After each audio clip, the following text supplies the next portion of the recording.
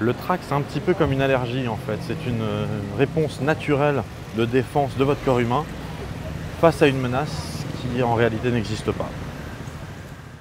Le trac est un phénomène tout à fait courant à la fois dans le monde du spectacle mais également dans le monde professionnel quand on doit s'adresser à beaucoup de gens d'un coup. Le cerveau perçoit assez bien le fait que parler d'un coup à plein de gens quand on n'est pas préparé à ça, ça peut être une expérience très traumatisante. Et donc il le vit comme un danger. Et le truc, c'est qu'en matière de danger, le cerveau fait pas dans la demi-mesure. Donc du coup, il va se mettre à déclencher ce qu'on appelle la réponse combat-fuite. Quand vous êtes confronté à un danger, votre cerveau décide très rapidement et seul si vous allez affronter le danger ou si vous allez tenter de fuir le danger. Dans tous les cas, il sait qu'il va avoir besoin de beaucoup d'énergie. Donc ce qu'il fait, c'est qu'il concentre l'énergie sur tout ce qui est important pour le combat ou la fuite. Et ça, ça se fait grâce à une sécrétion brutale d'adrénaline. Premièrement, tout ce qui n'est pas immédiatement important est ralenti, voire stoppé, notamment la digestion. Ce qui fait qu'on a la gerbe, ou au minimum des papillons dans le ventre. Hein, ça, c'est vraiment le minimum, quoi. Ensuite, comme il s'agit de fournir brutalement plus d'énergie, notamment aux muscles, eh ben, il va falloir plus d'oxygène. Donc, votre rythme respiratoire augmente, ainsi que votre rythme cardiaque, pour que le sang pompe plus vite. Ce qui fait que du coup, vous mettez un peu à halter,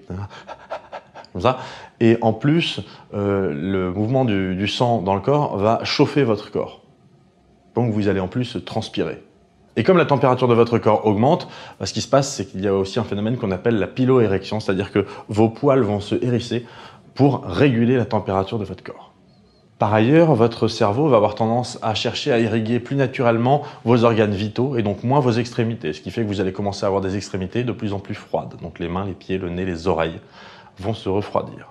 Ça, c'est dû à une contraction des vaisseaux sanguins hein, au niveau des extrémités. Donc, les, plus fins capillaires sanguins vont comme ça. Voilà. Donc, il y a quasiment plus de sang qui circule là-dedans. Vous avez bien sûr également besoin d'avoir des réflexes et une acuité parfaite. Donc, ce qui se passe, c'est que vos réflexes vont immédiatement s'améliorer et devenir beaucoup plus performants. Mais ça ne se fait pas gratuitement. Non, en effet, le coût de ce machin-là, c'est une perte partielle d'audition ainsi qu'une tunnelisation de la vue. C'est-à-dire que vous allez perdre pas mal en vision périphérique. Du fait de l'adrénaline dans le corps, vos pupilles vont se dilater, exactement comme si vous étiez drogué, hein, ça c'est normal.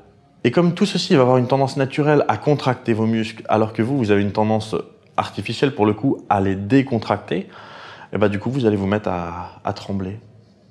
Par ailleurs, vous pouvez également sentir comme un goût un peu amer euh, dans la gorge, c'est l'adrénaline. Si vous voulez savoir le goût que ça a, en fait, la prochaine fois que vous allez chez le dentiste, quand on fait une petite anesthésie, ce que vous sentez d'amer qui coule dans votre gorge, parce qu'il y en a toujours une ou deux gouttes qui tombent, c'est de l'adrénaline. La plupart des comédiens professionnels cherchent à contrôler ce niveau d'adrénaline dans le corps, c'est-à-dire à se laisser submerger, mais pas trop, pour pouvoir vraiment avoir le bon niveau de tension qu'il faut lorsqu'on rentre sur scène. C'est euh, un métier, hein, putain, c'est compliqué tout ça. Mais bon, comme on est le 16 septembre, que c'est le dernier soir que je passe à l'Olympia avant le 6 décembre, qu'aujourd'hui c'est les deux ans de la chaîne et que je viens de passer le demi-million d'abonnés, merci à vous, hein, je me disais que c'était peut-être un, bon sujet pour la journée. Donc merci à tous d'être toujours aussi nombreux et même de plus en plus nombreux parce que là on a dépassé le demi-million. Le demi-million, bordel. Le jour des deux ans. Je vais continuer de bosser de mon côté, à vous préparer des trucs sympas, j'espère. Et vous de votre côté, bah, restez curieux. Et prenez le temps d'y penser.